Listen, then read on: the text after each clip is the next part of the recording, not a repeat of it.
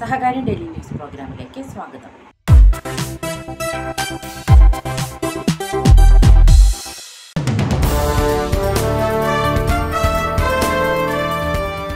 കേരള സർക്കാരിന്റെ മൂന്നാം നൂറുദിന കർമ്മ പരിപാടികളുടെ ഭാഗമായി സഹകരണ വകുപ്പ് നടപ്പിലാക്കുന്ന കെയർ ഹോം രണ്ടാം ഘട്ട പദ്ധതി പ്രകാരം പാലക്കാട് ജില്ലയിൽ നിർമ്മിക്കുന്ന ഭവന സമുച്ചയത്തിന്റെ നിർമ്മാണ ഉദ്ഘാടനം സഹകരണ വകുപ്പ് മന്ത്രി ശ്രീ വി എൻ വാസുവിൻ നിർവഹിച്ചു. രണ്ടായിരത്തി പതിനെട്ടിൽ സംസ്ഥാനത്തുണ്ടായ മഹാപ്രളയത്തിൽ വീടുകൾ പൂർണമായി നഷ്ടപ്പെട്ടവർക്ക് പുതിയ വീട് നിർമ്മിച്ചു നൽകുന്നതിന് സഹകരണ വകുപ്പ് ആവിഷ്കരിച്ച നൂതന പദ്ധതിയാണ് കെയർ ഹോം പദ്ധതി. പദ്ധതിയുടെ ആദ്യഘട്ടം ആരംഭിച്ചത് രണ്ടായിരത്തി പതിനെട്ട് ആഗസ്റ്റിലാണ്. ആദ്യഘട്ടത്തിൽ സംസ്ഥാനത്തൊട്ടാകെ രണ്ടായിരത്തോളം വീടുകൾ നിർമ്മിച്ചു നൽകിയതിന്റെ ഭാഗമായി പാലക്കാട് ജില്ലയിൽ ഇരുന്നൂറ്റി ആറ് വീടുകൾ നിർമ്മിച്ച് നൽകുകയും ചെയ്തു. രണ്ടായിരത്തി പതിനെട്ടിലും രണ്ടായിരത്തി പത്തൊൻപതിലും ഉണ്ടായ വെള്ളപ്പൊക്കത്തിലും പ്രകൃതിക്ഷോഭത്തിലും വീടും സ്ഥലവും നഷ്ടപ്പെട്ടവരെ പുനരധിവസിപ്പിക്കുന്നതിനായി രണ്ടാം ഘട്ടത്തിൽ ഫ്ളാറ്റ് നിർമ്മിക്കുവാൻ തീരുമാനിച്ചത്. പാലക്കാട് ജില്ലയിൽ കൊടുമ്പ് പഞ്ചായത്തിൽ കണ്ണാടി രണ്ട് വില്ലേജിലെ അറുപത്തി ഒന്ന് സെന്റ് സ്ഥലത്താണ് നിർമ്മാണം. Malampuzha M L A A. Prabhakaran സഹകരണ വകുപ്പ് സെക്രട്ടറി മിനി ആന്റണി സഹകരണ സംഘം registrar Subhash T V Palakkad ജില്ലാ പഞ്ചായത്ത് പ്രസിഡന്റ് കെ. ബിനിമോൾ എന്നിവർ ചടങ്ങിൽ പങ്കെടുത്തു. ഡോക്ടർ വന്ദനയെ കൊലപ്പെടുത്തിയ കേസ് ഫാസ്റ്റ് കോടതിയിൽ പരിഗണിക്കണമെന്ന ആവശ്യവുമായി സഹപ്രവർത്തകർ രംഗത്ത്. പ്രതി പത്ത് വർഷം ജയിലിൽ കിടന്ന് തിന്നുകൊടുത്തിട്ടാകരുത് ഈ കേസിൽ വിധി വരുന്നതെന്ന് അവർ ആവശ്യപ്പെട്ടു. പ്രതിക്ക് സുഖമായും സുരക്ഷിതമായും കഴിയാനുള്ള കാലയളവായി വിചാരണക്കാലം മാറരുത്. പ്രതി ബോധമില്ലാതെയാണ് ഇങ്ങനെയൊരു കൃത്യം നടത്തിയതെന്ന പ്രചാരണം കേരളത്തിലുടനീളമുണ്ട്. അത് ശരിയല്ലെന്ന് ഉദാഹരണ സഹിതം വന്ദനയുടെ സഹപ്രവർത്തകർ ചൂണ്ടിക്കാട്ടി. കുത്തേറ്റ് വീണ ഡോക്ടർ വന്ദനയുടെ ജീവൻ രക്ഷിക്കാനുള്ള സംവിധാനം കൊട്ടാരക്കര ആശുപത്രിയിൽ ഉണ്ടായിരുന്നില്ലെന്നും അവർ വിശദീകരിച്ചു. കുത്തേറ്റ് വീണ വന്ദനയെ അടുത്തുള്ള സ്വകാര്യ ആശുപത്രിയിലേക്ക് കൊണ്ടുപോകേണ്ടി വന്നു. ഒരു അക്രമിയെ കീഴ്ത്തൽ കീഴ്പ്പെടുത്താൻ പോലും പോലീസിന് സാധിച്ചില്ല. സ്വന്തം ജീവൻ രക്ഷിക്കാൻ ഓടേണ്ട അവസ്ഥയിലായിരുന്നു പോലീസ്. പ്രതി ബോധപൂർവമാണ് കൊല നടത്തിയതെന്ന് വന്ദനയുടെ സഹപ്രവർത്തകർ ആരോപിച്ചു. മാനസിക നില തെറ്റിയ അവസ്ഥയിലുള്ള ഒരാൾ കത്രിക ഒളിപ്പിക്കാൻ ശ്രമിക്കില്ലെന്ന് അവർ ചൂണ്ടിക്കാട്ടി. കുത്തിയ ശേഷം കത്രിക കഴുകി എടുത്ത സ്ഥലത്ത് തിരികെ വച്ചത് ബോധമുള്ളത് കൊണ്ടാണെന്നും അവർ പറഞ്ഞു. ബോധത്തോടെയല്ല പ്രതി ഇതെല്ലാം ചെയ്തതെന്നാണ് പൊതുവെയുള്ള അഭിപ്രായം. ബോധത്തോടെ അല്ലെങ്കിൽ കത്രിക എന്തിനാണ് അയിൽ അയാൾ കയ്യിൽ ഒളിച്ചു പിടിച്ചത്? അയാൾ കത്രിക എടുത്ത് മുഷ്ടി ചുരുട്ടി അതിനിടയിൽ ഒളിപ്പിച്ചിരിക്കുകയായിരുന്നു. ആക്രമിക്കുന്ന സമയത്ത് പോലും ആരും ഇത് കണ്ടില്ല. ഇത് വെറും കത്രികയല്ല അറ്റം വളഞ്ഞിരിക്കുന്ന ഉപകരണമാണ്. ഇതുപയോഗിച്ച് കുത്തിയാൽ വളരെ ആഴത്തിലാണ് മുറിവേൽക്കുക. മാത്രമല്ല അതിനുശേഷം രക്തക്കറ മായ്ക്കുന്നതിനായി അത് കഴുകി എടുത്ത സ്ഥലത്ത് കഴുകി എടുത്ത സ്ഥലത്ത് തന്നെ വയ്ക്കുകയും ചെയ്തു. ഇതെല്ലാം ബോധമില്ലാത്ത ഒരാൾ ചെയ്യുന്ന കാര്യങ്ങളാണോ? എത്രയൊക്കെ പറഞ്ഞാലും നഷ്ടമന്ദിരയുടെ മാതാപിതാക്കൾക്ക് മാത്രമാണ്. നമ്മൾ എവിടെ നമ്മൾ അവിടെ പോയി രണ്ടിറ്റ് കണ്ണീർ വീഴ്ത്തിയത് കൊണ്ടോ ബാഷ്പാഞ്ജലി അർപ്പിച്ചത് കൊണ്ടോ പൂക്കൾ വിതറിയത് കൊണ്ടോ കാര്യമില്ല. ഡോക്ടർമാരെല്ലാം സമരം പിൻവലിച്ച് ഡ്യൂട്ടിക്ക് കയറാൻ തുടങ്ങുകയാണ്. പക്ഷേ ഞങ്ങൾക്കിടയിൽ കണ്ണീരുണങ്ങുന്നില്ല. അന്ന് ഞങ്ങളിൽ ഒരാളുടെ പേരാണ് ഡ്യൂട്ടി ലിസ്റ്റിൽ ഉണ്ടായിരുന്നതെങ്കിൽ അവിടെ വന്ദനയ്ക്ക് പകരം ഉണ്ടാകേണ്ടിയിരുന്നത് ഞങ്ങളാണ്. ഈ കേസിൽ കാലാകാലങ്ങളിൽ നീളുന്ന വിചാരണ നടപടികൾ വേണ്ട. ഫാസ്റ്റ് ട്രാക്ക് കോടതിയിൽ തന്നെ കേസ് പരിഗണിക്കണം. ഏറ്റവും വേഗം കേസിൽ വിധി വരണം. വർഷങ്ങൾ നീളുന്ന വിചാരണയും വീണ്ടും വിചാരവും പാടില്ല. ദ്രുതഗതിയിൽ തന്നെ ഇതിനൊരു തീരുമാനമുണ്ടാകണം. നടപടികൾ തീരുന്നതുവരെ പത്ത് വർഷം ജയിലിൽ കിടന്ന അയാൾ തിന്നുകൊടുത്തതിന് ശേഷമാകരുത് വിധി വരേണ്ടത്. അയാൾക്ക് സുഖമായി ജീവിക്കാനുള്ള ഒരു സുരക്ഷിത കാലമാകരുത് വിചാരണക്കാലം. നാളെ ഒരു ഡോക്ടർ ആക്രമിക്കപ്പെട്ടാലും ഇതായിരിക്കണം അവസ്ഥയെന്ന് മുന്നറിയിപ്പ് നൽകുന്ന മാതൃകാപരമായ ശിക്ഷ ഉറപ്പാക്കണം. സിനിമകളിൽ കാണുന്നത് പോലെ പോലീസുകാർ നൂറുപേരെ ഒന്നിച്ചിടിച്ചിരുന്ന സൂപ്പർ ഹീറോ ആകണമെന്നല്ല ഞങ്ങൾ പറയുന്നത്. തോക്കെടുത്ത് വെടിവെക്കണമെന്നും പറയുന്നില്ല. അയാളെ കീഴ്പ്പെടുത്തിയാണ് കൊണ്ടുവന്നിരുന്നതെങ്കിൽ വിലങ്ങിട്ടിരുന്നെങ്കിൽ അയാൾക്ക് ആക്രമിക്കാനാകില്ലായിരുന്നു. അത്രയും പേർ അവിടെ ഉണ്ടായിട്ടും അക്രമിയിൽ നിന്ന് വന്ദനയെ രക്ഷിച്ചത് ഞങ്ങൾക്കൊപ്പമുള്ള ഡോക്ടർ ഷിബിനാണ്. ഇത്തരം പിഴവുകൾ തിരുത്താനുള്ള തിരുത്താനുള്ള നടപടികൾ വേണം. മന്ത്രിയുടെ സഹപ്രവർത്തകർ ആവശ്യപ്പെട്ടു.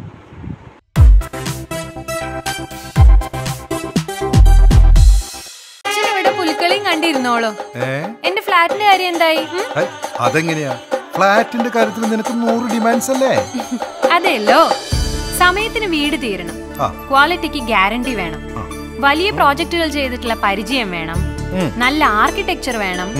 സുതാര്യത വേണം പിന്നെ മുടക്കുന്ന പണത്തിനുള്ള മൂല്യവും വേണം. ഉമ്മടെ തൃശ്ശൂർ മികച്ച എഞ്ചിനീയേഴ്സ് ആർക്കിടെക്ട്സ് സ്കിൽ ലേബേഴ്സ് അടങ്ങുന്ന നിർമ്മാണ മേഖലയിൽ ഗവൺമെന്റ് പ്രൈവറ്റ് സെക്ടറുകളിൽ കഴിവ് തെളിയിച്ച നിരവധി അംഗീകാരങ്ങൾ നേടിയ ഒരു സഹകരണ സംഘം. ഗവൺമെന്റ് അക്രഡിറ്റഡ് സൊസൈറ്റിയായ ടി ഡി എൽ സി ഒരുക്കുന്നു. ശാന്തസുന്ദരമായ വിയൂരിൽ ഒരു മികച്ച ലൊക്കേഷനിൽ നിങ്ങൾക്കായി ഒരു സ്വപ്ന ഭവനം മെട്രോ ഹൈറ്റ്സ് അപ്പാർട്ട്മെന്റ് ഇന്ന് തന്നെ ബുക്ക് ചെയ്യൂ. പ്രത്യേക ആനുകൂല്യങ്ങളോട് കൂടി സമൂഹ നിർമ്മാണത്തിലൂടെ രാജ്യ പുരോഗതി ടി ഡി എൽ സി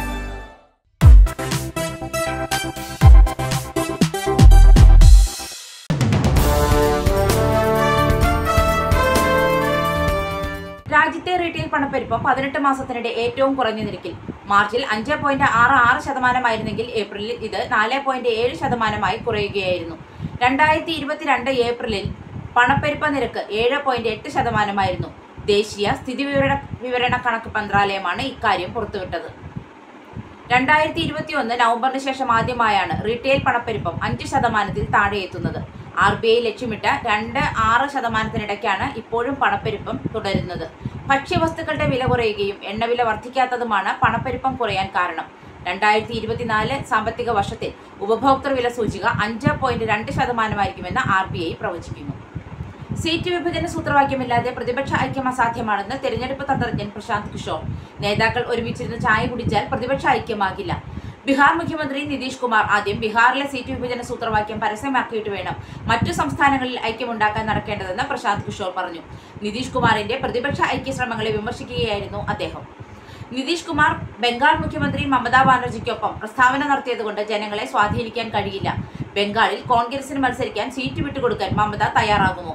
അതോ ബംഗാൾ മുഴുവൻ മമതയ്ക്ക് വിട്ടുകൊടുത്ത് മാറി നിൽക്കാൻ കോൺഗ്രസ് സമ്മതിക്കുമോ? ഇക്കാര്യങ്ങളിൽ വ്യക്തതയില്ലാതെ പ്രതിപക്ഷ ഐക്യമെന്ന് ഉദ്ഘോഷിക്കുന്നതിൽ അർത്ഥമില്ലെന്ന് പ്രശാന്ത് കിഷോർ പറഞ്ഞു.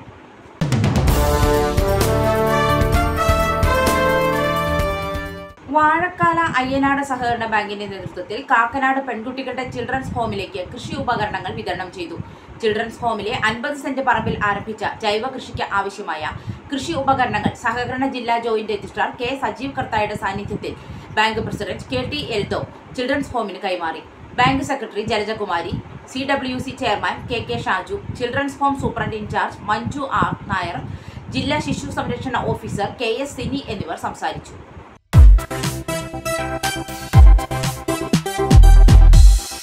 സഹകരണ സോഫ്റ്റ്വെയർ രംഗത്ത് ഇരുപത്തിമൂന്ന് വർഷത്തെ സേവന പാരമ്പര്യവുമായി perfect software solutions private limited core banking solutions mobile banking S M S and email banking net banking R T G S N E F T A T M U P I loan tracker WhatsApp banking non banking ബിസിനസ്സുകൾക്ക് software സൗകര്യം. സഹകരണ super മാർക്കറ്റുകൾ നീതി medical store manufacturing യൂണിറ്റുകൾ സഹകരണ കോളേജുകൾ മറ്റ് സ്ഥാപനങ്ങൾ എന്നിവയ്ക്ക് ആവശ്യമായ സോഫ്റ്റ്വെയർ ഫെസിലിറ്റി. ഒരു സമ്പൂർണ banking software. Kerala's first fully web based banking software perfect. Perfect software solutions private limited.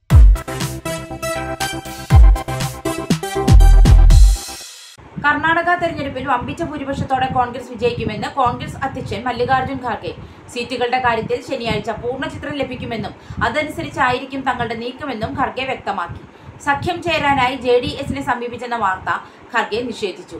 ജയിച്ച ശേഷം എം എൽ എമാരെ കൂറുമാറ്റുന്ന ബി ജെ പി കുതന്ത്രം ഓപ്പറേഷൻ ലോട്ടസ്. ഇത്തവണ കർണാടകയിൽ വിലപ്പോകില്ലെന്ന് ഖർഗെ നേരത്തെ വ്യക്തമാക്കിയിരുന്നു. കോൺഗ്രസ് പ്രവർത്തക സമിതി കർണാടക തെരഞ്ഞെടുപ്പിന് ശേഷം പുനഃസംഘടിപ്പിക്കുമെന്നും ഖാർഗെ അറിയിച്ചു. അതേസമയം കർണാടകയിൽ തൂക്കുസഭ ഉണ്ടാകുമെന്നാണ് എക്സിറ്റ് പോൾ പ്രവചനം. ഇതിനു പിന്നാലെ ജെ ഡി എസുമായി സഖ്യമുണ്ടാക്കാൻ കോൺഗ്രസും ബി ജെ പിയും നീക്കം ശക്തമാക്കിയതായും റിപ്പോർട്ടുകളുണ്ട്. ഇരു പാർട്ടികളും സമീപിച്ചതായും ആരുമായി സഖ്യം ചേരണമെന്ന് തീരുമാനിച്ചെന്നും ശരിയായ സമയത്ത് പൊതുജനങ്ങളെ അറിയിക്കുമെന്നും ജെ മുതിർന്ന നേതാവ് തൻവീർ അഹമ്മദ് ദേശീയ മാധ്യമത്തോട് പ്രതികരിച്ചു.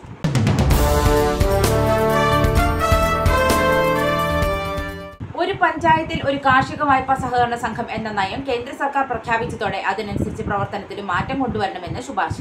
പഞ്ചായത്ത് ഭരണ സമിതികൾക്ക് കീഴിൽ പ്രവർത്തിക്കാൻ പാകത്തിൽ സഹകരണ സംഘങ്ങളെ മാറ്റണമെന്ന് കേന്ദ്ര പഞ്ചായത്തി രാജ് വകുപ്പ് സഹകരണ മന്ത്രാലയത്തെ അറിയിച്ചിട്ടുള്ളത്.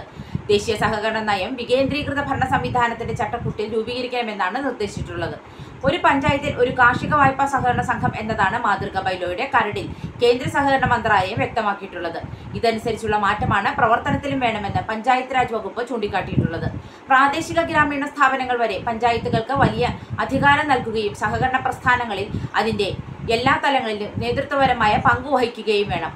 സഹകരണ സംഘങ്ങൾക്ക് പൊതുവെയും സഹകരണ വായ്പാ സംഘങ്ങളിലേക്കുള്ള ഓഹരി മൂലധന വിതരണം ഉൾപ്പെടെയുള്ള കാര്യങ്ങൾ പഞ്ചായത്തുകൾ നടത്താൻ വ്യവസ്ഥ കൊണ്ടുവരണമെന്നാണ് ശുപാർശ. പദ്ധതി നിർവഹണത്തിന് മാത്രമല്ല ആസ്തി വികസനത്തിലും സഹകരണ സംഘങ്ങളെ പഞ്ചായത്തുകൾക്ക് ഉപയോഗിക്കാൻ കഴിയണം.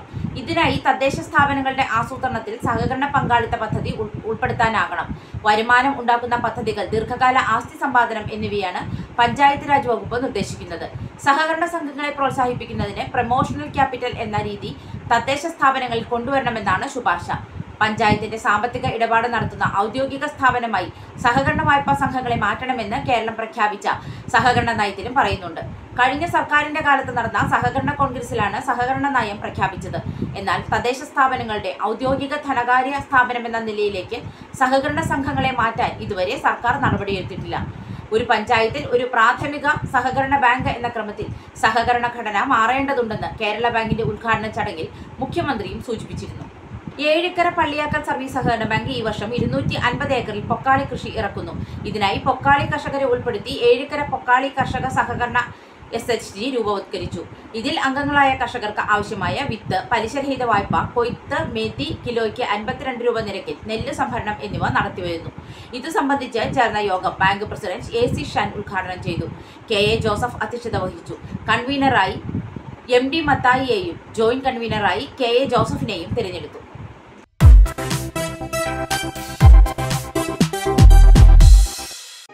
ടൂറിസം മേഖലയിൽ സഹകരണത്തിന്റെ കരസ്പർശം. Misty range resort. Own by Marayur service cooperative bank. Marayur Idukki. പത്ത് മുറികൾ മുപ്പത് പേർക്ക് താമസ സൗകര്യം. ബുക്കിംഗിന് zero four eight six five two double zero triple three. Mobile number double eight four eight nine zero six zero three six.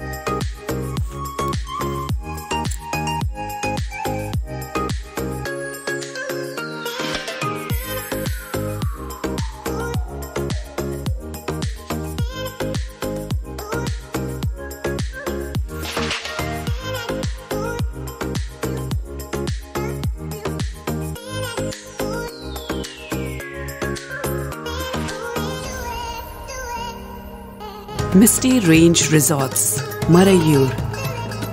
Misty Range Resort is a delightful getaway nestled in the hills of Marayur.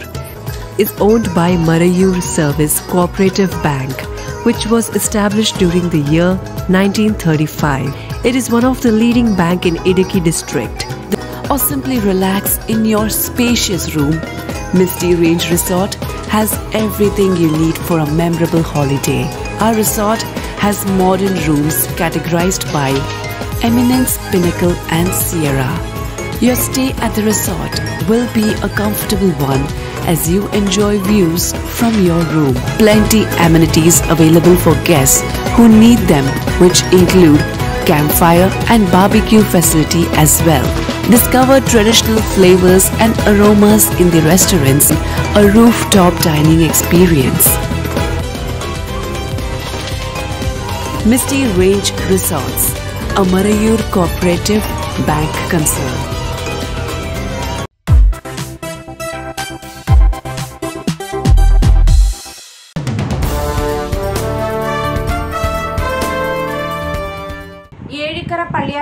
സഹകരണ bank അംഗങ്ങളിൽ രോഗബാധിതർക്കുള്ള സമാശ്വാസ fund വിതരണം സഹകരണ ജീവനക്കാരുടെ pension board അംഗം T R Bose ഉദ്ഘാടനം ചെയ്തു. Bank president A Sree Shan അധ്യക്ഷത വഹിച്ചു.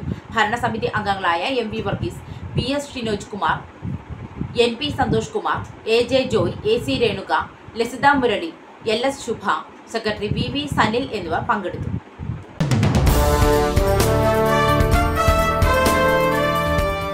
ചെങ്ങമ്പനാട് സഹകരണ ബാങ്ക് സ്റ്റുഡൻസ് മാർക്കറ്റും പലിശരഹിത വിദ്യാഭ്യാസ വായ്പാ പദ്ധതിയും ആരംഭിച്ചു. വിവിധ ബ്രാൻഡുകളുടെ ബാഗുകൾ കുടകൾ നോട്ട്ബുക്കുകൾ തുടങ്ങി വിദ്യാർത്ഥികൾക്ക് ആവശ്യമായ എല്ലാ പഠന ഉപകരണങ്ങളും മുപ്പത് ശതമാനം മുതൽ അൻപത് ശതമാനം വരെ വിലക്കുറവിൽ ആണ് നൽകുന്നത്. പലിശരഹിത വിദ്യാഭ്യാസ വായ്പ ഒരു കുട്ടിക്ക് പതിനായിരം രൂപ വീതമാണ് നൽകുന്നത്.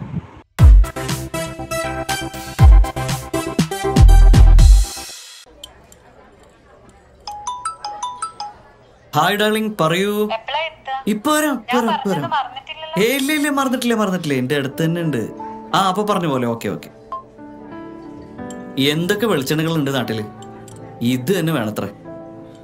നമ്മുടെ ബാങ്കിന്റെ ആണേ സംഗതി സൂപ്പറാ coconut oil crossing dreams of taste high grade coconuts advance technology triple filter process a product of Venganassery service co operative bank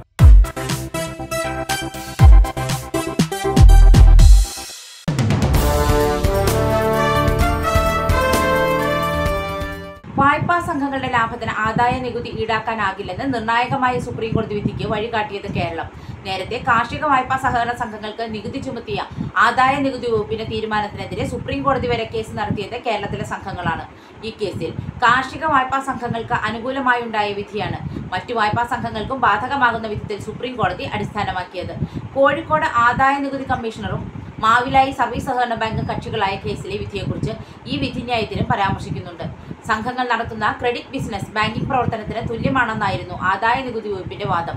ഇതേ വാദമാണ് കേരളത്തിലെ കാർഷിക വായ്പാ സംഘങ്ങൾക്ക് നികുതി ചുമത്തുന്നതിനും ആദായ നികുതി വകുപ്പ് ഉന്നയിച്ചത്.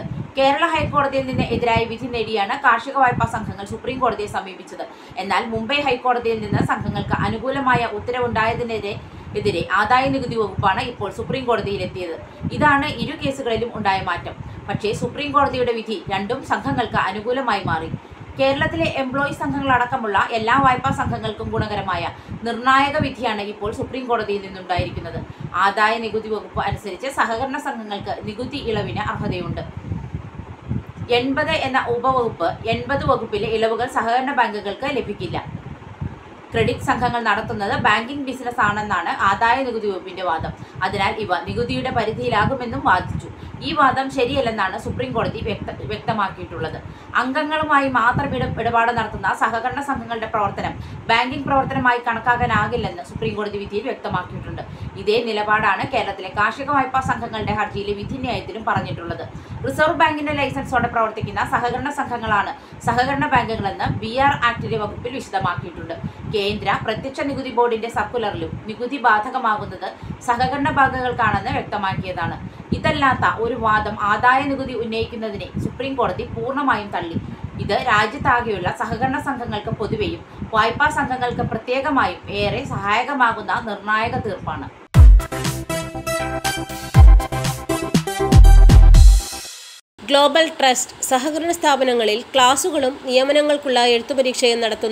കോട്ടയം കേന്ദ്രമായി പ്രവർത്തിക്കുന്ന ഒരു രജിസ്റ്റേർഡ് ഔട്ട്സൈഡ് ഏജൻസി. രണ്ടായിരത്തി പതിനേഴിൽ രജിസ്റ്റർ ചെയ്ത സ്ഥാപനം. തുടർച്ചയായ നാലാം വർഷവും സഹകരണ സംഘം രജിസ്ട്രാറുടെ ലിസ്റ്റിൽ ഉൾപ്പെട്ട ഔട്ട്സൈഡ് ഏജൻസി. സഹകരണ വകുപ്പിൽ അസിസ്റ്റന്റ് രജിസ്ട്രാർ തസ്തികയിൽ നിന്നും വിരമിച്ച K Tomy Joseph M A H D C ആണ് ചെയർമാൻ. അംഗങ്ങളെല്ലാവരും ഉയർന്ന വിദ്യാഭ്യാസ യോഗ്യതയും ഗവൺമെന്റ് സർവീസിൽ ഉയർന്ന സ്ഥാനമാനങ്ങളും വഹിച്ചിരുന്നവർ. പരീക്ഷാ നടത്തിപ്പിൽ സഹകരണ സ്ഥാപനങ്ങളുടെ അംഗീകാരവും പ്രശംസയും നേടിയ ഒരു സുതാര്യ agency global trust phone nine double four six seven six double zero three nine. Seven three zero double six double five zero three five.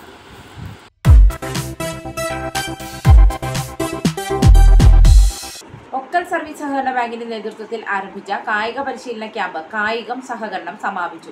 Okkal service സഹകരണ ബാങ്കിന്റെ നേതൃത്വത്തിൽ രണ്ടായിരത്തി ഇരുപത്തി മൂന്ന് ഏപ്രിൽ രണ്ട് മുതൽ ആരംഭിച്ച കായിക പരിശീലന ക്യാമ്പ് സമാപിച്ചു.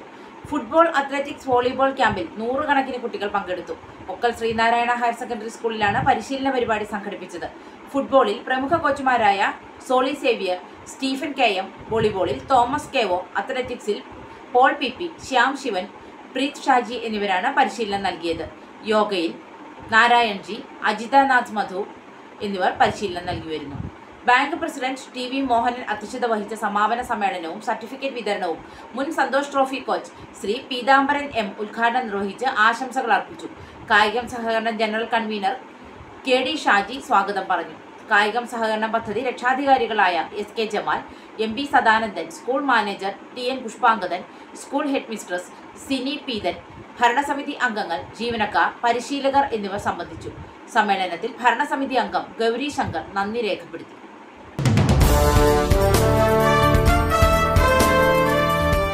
പാറക്കടവ് സർവീസ് സഹകരണ ബാങ്കിന്റെ ആധുനിക സൗകര്യങ്ങളോടുകൂടിയ പുതിയ ഹെഡ് ഓഫീസ് മന്ദിരത്തിന്റെ ശിലാസ്ഥാപനം ബാങ്കിന്റെ പ്ലാറ്റിനം ജൂബിലി വർഷത്തിൽ ബഹുമാനപ്പെട്ട കേരള ബാങ്ക് ചെയർമാൻ ശ്രീ ഗോപി കോട്ടമുറിക്കൽ നിർവഹിച്ചു. ആയിരത്തി തൊള്ളായിരത്തി നാൽപ്പത്തി എട്ടിൽ പ്രവർത്തനം ആരംഭിച്ച ബാങ്കിന് ഇപ്പോൾ മൂന്ന് ബ്രാഞ്ചുകളുണ്ട്. രണ്ട് മെഡിക്കൽ ഷോപ്പുകൾ കാർഷിക സേവന കേന്ദ്രം തുടങ്ങി. നിരവധി സൗകര്യങ്ങളോടെ ക്ലാസ് വൺ സ്പെഷ്യൽ ഗ്രേഡ് ബാങ്കായി പ്രവർത്തിച്ചു വരുന്നു. Bank president C M Sabu അധ്യക്ഷത വഹിച്ചു. ആശംസകൾ അർപ്പിച്ചുകൊണ്ട് Parakkadavu block panchayat president T V Pratheesh grama panchayat president S V Jayadevan joint registrar Sajeev കർത്താക്കെ Manoj K Vijayan grama panchayat vice president Daisy Tomy panchayat മെമ്പർമാരായ K Y Tomy Asha Dineshan Jisha Shyam P P Joy വിവിധ രാഷ്ട്രീയ പ്രതിനിധികളായ Jibin Varghese K K Venu M K Suresh M V Lakshmanan Anitha P Nair T V Joshy എന്നിവർ സംസാരിച്ചു. Board member V N Ajayakumar സ്വാഗതവും T D Viswanathan നന്ദിയും പറഞ്ഞു.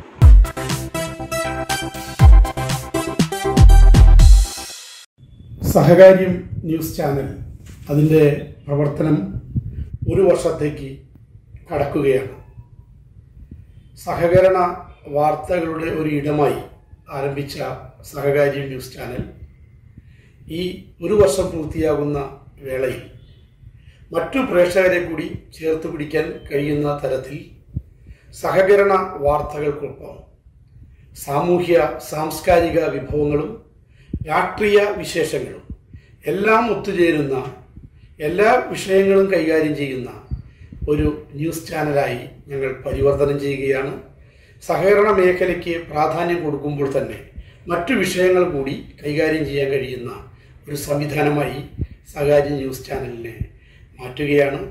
ഈ പുതിയ ഉദ്യമത്തെ കേരളത്തിലെ പ്രേക്ഷക ലോകം രണ്ട് കൈയും നീട്ടി സ്വീകരിക്കണമെന്ന് വളരെ വിനയപൂർവം ഞാൻ അഭ്യർത്ഥിക്കുകയാണ്.